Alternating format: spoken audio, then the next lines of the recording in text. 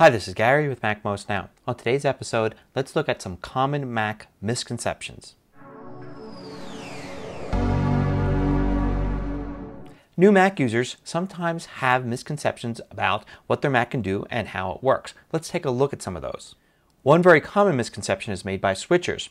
They've been using Windows and perhaps Microsoft Office software, you know, Word, Excel, and PowerPoint. And then they switch to Mac and they feel, well, now they have to use iWork because they're on a Mac. But that's not true at all. If you've been using Office software, you can use Microsoft Office for Mac. Office for Mac has been out just about as long as Office for Windows has. Matter of fact, Excel on the Mac actually predates Excel on Windows. So if you're used to using Microsoft Office on Windows and you switch to Mac, just simply go and get yourself Microsoft Office for Mac. It's almost exactly the same as the one you've been using on Windows and it's probably the most powerful Office software for Mac. But I think probably the most common misconception for new Mac users is about AppleCare. So AppleCare is something that's offered to you when you buy your Mac. It basically extend your warranty. You see, when you buy a new Mac, you get a one-year warranty or AppleCare on your Mac. You can extend that up to three years by buying AppleCare. Now, AppleCare is simply a warranty with some benefits, but it's still basically a warranty. So the misconception number one is that you don't have AppleCare if you don't buy it, and when in fact you do have a one-year warranty on anything you buy from Apple. The other thing is that AppleCare will protect your Mac if you break it. And that's not true at all. It's a warranty. Think of a warranty like your car warranty.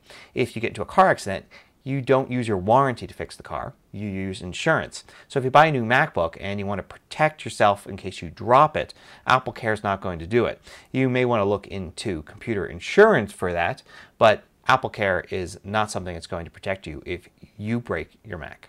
Another misconception is that Macs need Mac hardware. In other words, a Mac mouse, a Mac keyboard, Mac screen. It's not true at all. Macs use USB mice and keyboards and Bluetooth keyboards and mice.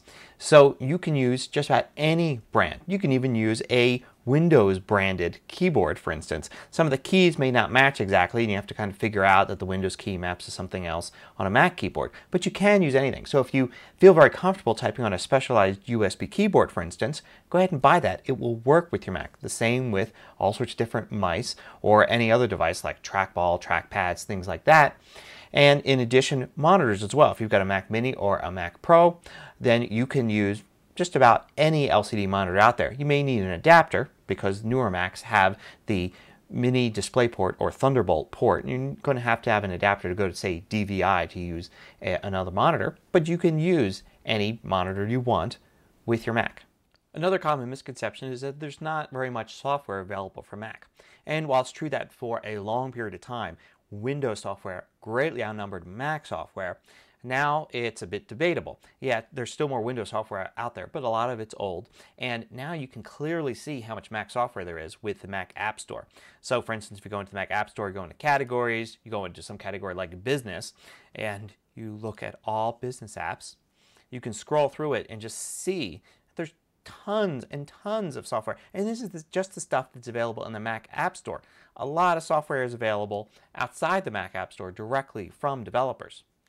Another misconception is about games, that games are really on Windows, there's not really any games on the Mac. That's not true at all. Most big titles from companies like Electronic Arts have been released recently for the Mac at the same time as for the PC.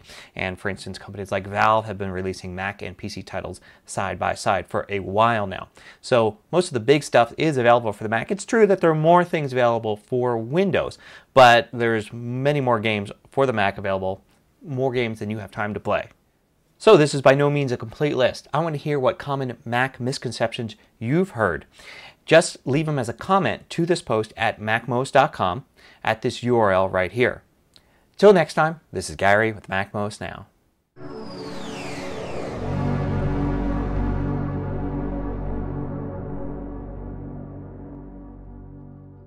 Want more video tutorials? Just go to macmost.com, click on the videos link at the top of the page, and then you can view all of the hundreds of MacMost videos by category.